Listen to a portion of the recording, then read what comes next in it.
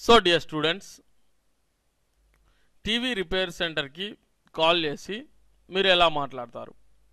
For example ఇక్కడ TV repair centre means మీరు ఏ షాప్లో అయితే కొన్నారో టీవీని అదే షాప్కి కాల్ చేసి మీ ప్రాబ్లమ్ని ఎక్స్ప్లెయిన్ చేయడం అన్నమాట ఓకే ఫర్ ఎగ్జాంపుల్ మీరు ఒక షాప్లో అంటే గణేష్ ఎంటర్ప్రైజెస్ అనేటువంటి ఒక షాప్లో మీరు టీవీని పర్చేస్ చేశారు అనుకోండి సో ఆ టీవీ మీకు ప్రాబ్లం వచ్చిందనమాట. అంటే ఏదో ఒక చిన్న ట్రబుల్ అనేది దాంట్లో ఏర్పడింది. అలాంటప్పుడు మీరు ఆ గణేష్ ఎంటర్ప్రైజెస్కి కాల్ చేసి మీ యొక్క ప్రాబ్లం మీకు ప్రాబ్లం ఉందని చెప్పి టెక్నీషియన్ని పంపించమని మీరు ఎలా అడుగుతారు?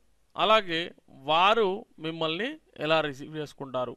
అనేటువంటి ఈ సంభాషణని మనం ఇప్పుడు చూద్దాం. ఓకే? కాన్వర్జేషన్స్లో ఉన్నాం మనం ఇప్పుడు కాన్వర్జేషన్ అనేది చాలా important topic okay?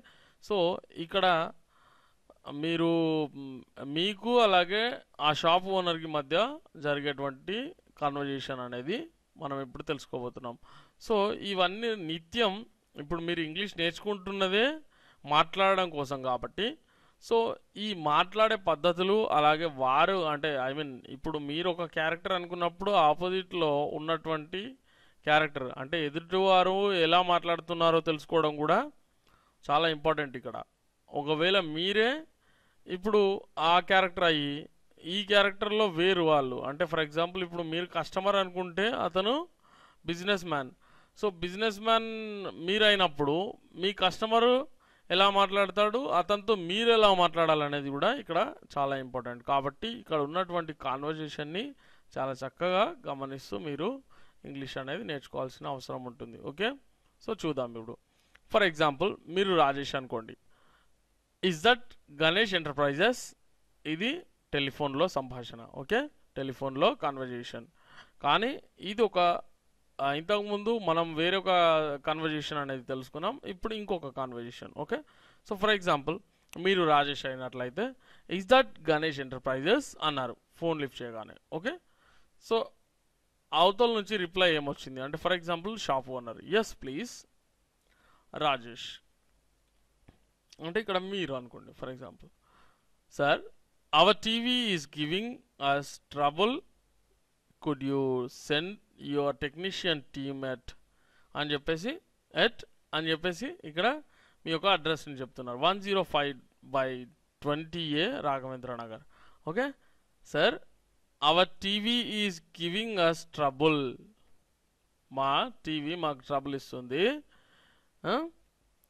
Could you send your technician team అంటే మీ యొక్క టెక్నీషియన్ టీమ్ని లేదా టెక్నీషియన్ని మా దగ్గరకు పంపించండి అని అడ్రస్ చెప్తున్నారు. At one zero five by twenty A Raghavendra Nagar లేదా శ్రీనగర్ కాలనీ లేదా వాటి ఓకే హైదరాబాద్లో ఏ అడ్రస్ అయినా చెప్పొచ్చు. లేదంటే ఎక్కడైనా అడ్రస్ని మీరు చెప్పొచ్చు.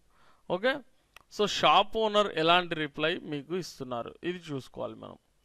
Shop owner. I am sorry our technician just left to attend another complaint so sorry అండి. మా టెక్నీషియన్ ఇందాకే వేరే కంప్లైంట్ని అటెండ్ చేయడానికి వెళ్ళారు. ఓకే? అంటే వేరే చోటకి మా టెక్నీషియన్ వెళ్ళారు. I will send him soon after he comes okay అతను రాగానే నేను మీ వద్దకు పంపించేస్తాను అని చెప్పేసి చెప్తున్నారు. Okay I will send him soon after he comes అతను రాగానే వచ్చిన వెంటనే నేను మీ దగ్గరకు పంపించేస్తాను. Okay so Rajesh thank you sir please note my cell number అని చెప్పేసి సెల్ నంబర్ చెప్పిండు అనుకోండి nine zero zero one double zero ఇట్లా ఏదో ఓకే? సో మీ యొక్క మొబైల్ నెంబర్ ఇక్కడ చెప్తారనుకోండి. Thank you sir.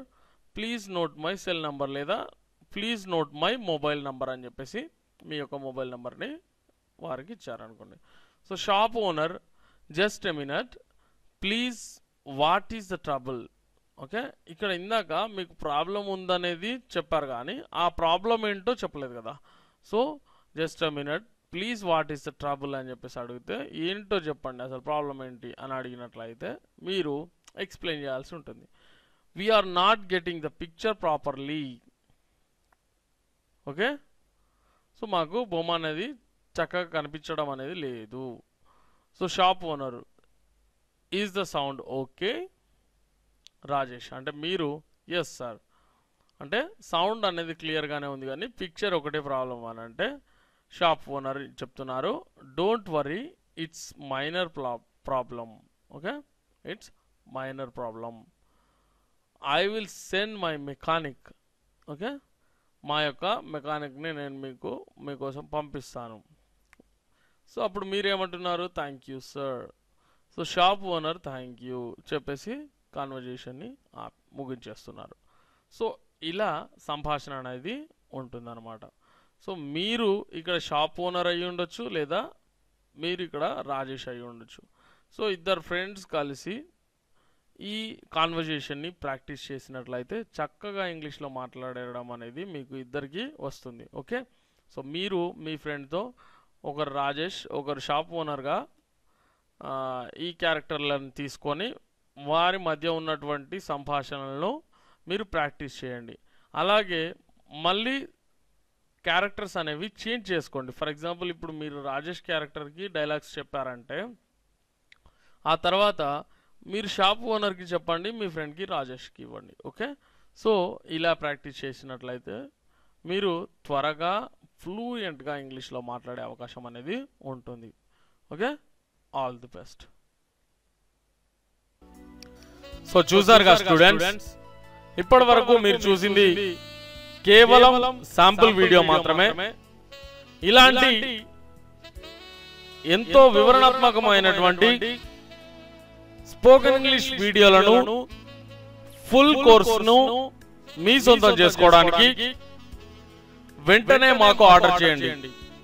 Six DVDs pack plus free e books కేవలం వెయ్యి రూపాయలకే ఆరు డివిడీల ప్యాక్ను వాటితో పాటు ఉచిత ఈ బుక్స్ను మీకు అందిస్తున్నారు కేవీ స్పోకెన్ ఇంగ్లీష్ మిమ్మల్ని ధారాళంగా ఇంగ్లీష్లో మాట్లాడించగల ఏకైక కోర్స్ కేవీ స్పోకెన్ ఇంగ్లీష్ మీరు ఇంగ్లీష్లో ఫ్లూయెంట్గా మాట్లాడాలంటే మీకు ఎంతో వివరణతో కూడినటువంటి వీడియోలు అలాగే ఈ బుక్స్ అనేవి అవసరం.